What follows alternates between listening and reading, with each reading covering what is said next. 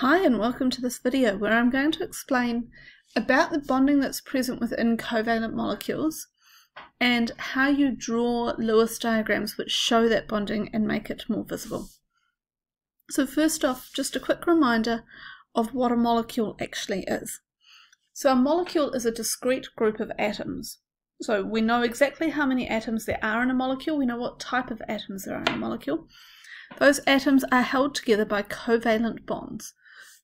Um, so the bonding within a molecule, between the atoms in the molecule, is covalent bonding. The bonding between molecules, so from one molecule to the next molecule, is what's called intermolecular bonding. So the covalent bonding occurs between the non-metal atoms and it is a sharing of electrons. So those electrons are shared. The bonds in a covalent molecule the covalent bonds in a molecule are very strong um, and very hard to break. So they're not going to break by ordinary actions. However, the intermolecular bonding, so this is the bonding that's holding one molecule to the next molecule, is relatively weak. And it's generally based on some sort of an attraction between the positive and negative ends of that molecule. So Lewis diagrams are a way to show how the bonding in a molecule actually works. Okay, and there are a specific set of rules that we use to draw Lewis diagrams. So they show how the atoms are connected to each other. Like, is there one pair of electrons shared between these two atoms? Is there two pairs of electrons? So does it make a single bond or a double bond? What exactly is going on? That's what our Lewis diagram shows us. Um, there will always be an exam question that requires you to draw Lewis diagrams. Um, or Lewis structures or Lewis dot diagrams or they're called a bunch of different things. Sometimes electron dot diagrams all sorts of things. But you're always going to be asked to draw one in your exam. And when you know what you're doing it's a pretty easy thing. So how do you do this? Well you need to start first off thinking about your molecule and you think about the atoms and how many valence electrons there are in the outer shell. If, for example, an oxygen atom has six electrons in its outer shell, six valence electrons, it needs two more. So it has to make two bonds so that it can share two electrons. And the Lewis diagram ultimately shows us how to put it all together. There are some rules. Okay, and the rules work in this order. And these won't make much sense to you right now, but they will once I show you some examples. So, the first thing you have to do is you have to count and add up all of the valence electrons on all of the atoms in your molecule. Now the valence electrons, you can always figure out how many there are from your periodic table. And I'll show you that in just a moment. You then have to figure out which atom is the central atom in your molecule, and it's usually pretty easy to figure out it is usually, if you've got, for example, H2O, there are two hydrogens, one oxygen, it's going to be the oxygen that's sitting in the middle. If you've got one phosphorus and three chlorines, it's going to be the phosphorus that's sitting in the middle. Sometimes it's not that obvious, so if you're not sure, it's going to be the atom that has the smallest number of valence electrons and therefore needs the greatest number of bonds on it. So you draw those together each bond represents a pair of atom, pair of electrons. Once you've drawn all the bonds on there, then you put the valence electrons on the outer atoms to make that up to 8 electrons. You must have 8 electrons around each atom. So the bond gives you 2 electrons, and then you have to put on enough other electrons on your outer atoms so that they come up to 8. If at that point you've got any leftover electrons, you put them on the central atom. If you are short of bonds or electrons around that central atom, then you need to make double or triple bonds to make up for it. Now this might sound really confusing, but let me show you some examples. We're going to do these three as examples. Water, ammonia, iodine and carbon dioxide. Hopefully by the time I've finished those, you might be able to see what to do. And I might do a fifth example, which is phosphorus trichloride just so you can really see how it works. Okay, so if we start off with water, okay, the formula for water is H2O. Everyone should know that by now, I hope.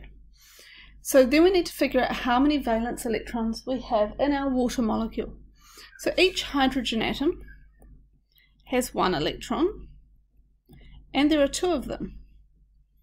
The oxygen atom has a total of eight electrons. There are two in the first shell and six in the second shell. So there are six valence electrons, which means all up we need a total of eight valence electrons shown in our Lewis diagram. So we're going to start off and we're going to draw that out. Oxygen in the middle, connected to two hydrogens. Now, each of those bonds, those straight lines between the oxygen and the hydrogen, represent a pair of electrons.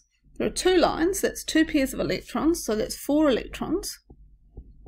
So I still have four more electrons to assign to my molecule. Now, hydrogen is one of the exceptions. Obviously, a hydrogen atom only has two electrons around it. Because it's in this bond already, there are two electrons in that bond. So the hydrogen atom does not need any extra electrons. So four extra electrons. I'm going to put them on my central oxygen atom. And there is my Lewis diagram for water. Okay, so another example would be ammonia, NH3. so ammonia, the nitrogen has seven electrons in total, two electrons in the first shell and five electrons in the second shell. There's also hydrogen, which has one electron in its outer shell, but there are three hydrogen atoms. So again, there are a total of eight valence electrons on this molecule. So I'm going to draw this out, just like the last one, with the nitrogen in the middle attached to the three hydrogens. Each of those bonds contains a pair of electrons. These are not division signs. There's a bond where I'm showing the pair of electrons. So there are six electrons shown in there at the moment. Therefore, there are two more to go. Now, each hydrogen, we can visualize these in this way. This is not something you should do in your exam, but it's useful to visualize. So you can see there that each hydrogen has access to two electrons, which is how many you should have in a hydrogen atom.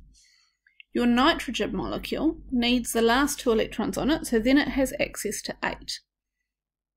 So ultimately, your ammonia molecule, or the Lewis diagram for your ammonia molecule, should look like this.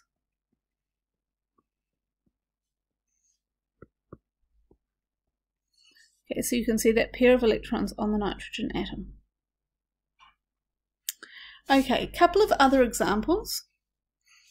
Particularly, I want to look at carbon dioxide first off, because that's a little bit trickier. Okay, so when we think about carbon dioxide, we've got a carbon atom, which has four valence electrons, so it's got two in its first shell and four in its second shell. We've got oxygen, which has, there are two oxygen atoms and each one has six electrons in its valence shell. Two in the first shell, six in the valence shell. So if we add all those together, we get 16 electrons that need to show up in our Lewis diagram.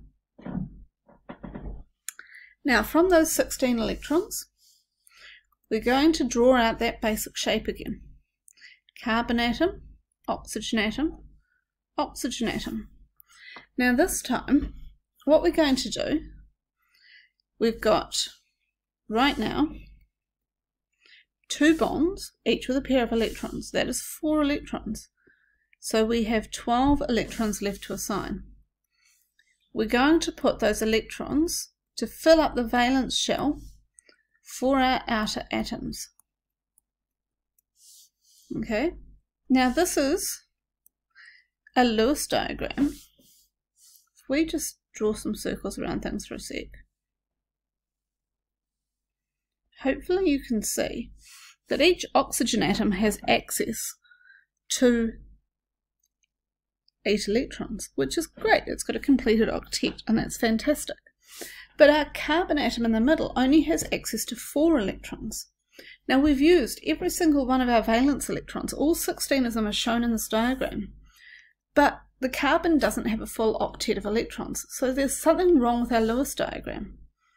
So actually what we need to do is we need to take away one lone pair of electrons from each molecule and turn them into a second bond, which gives us a second pair of electrons. So now, that's really ugly to try and see, but with those double bonds, now the oxygen has access to 8 electrons, and, and the carbon has access to 8 electrons. So actually, the Lewis diagram for this molecule, I'll just clear this away so we can see, looks with the carbon in the middle, oxygens on the outside with double bonds, and two lone pairs. So these pairs of electrons that are stuck out there, they're called lone pairs, on each outer oxygen atom. So that's how we actually draw our Lewis diagram for carbon dioxide. And it's tricky.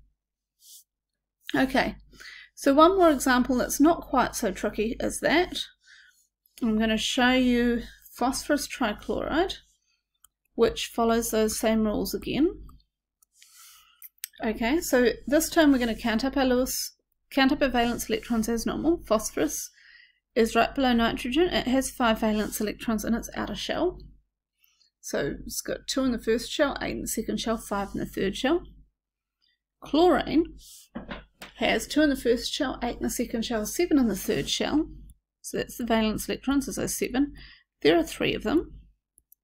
So if we add all that together, we have 26 valence electrons in this molecule. Now that might look slightly tricky, but actually it's not. We're going to do the same process. We're going to start with our phosphorus, put it in the middle, put our chlorines around the outside. Right? So there's three bonds there. Each bond is a pair of electrons, so that's six electrons. So we still have 20 valence electrons left to assign.